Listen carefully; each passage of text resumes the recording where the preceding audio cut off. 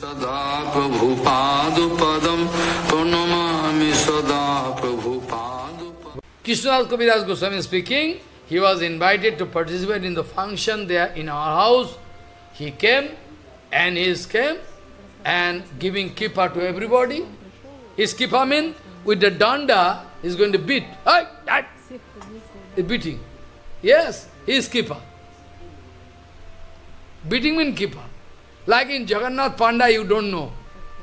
Jagannath Panda, if you go in front of Jagannath temple, Panda, what you what will you know?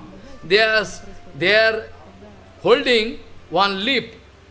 One mean, is called actually a plum leaf. One bunch of. If somebody comes, hey, when giving pranami, part giving chest. All panda, all panda having uh, panda having one. So this is one kind of kripa.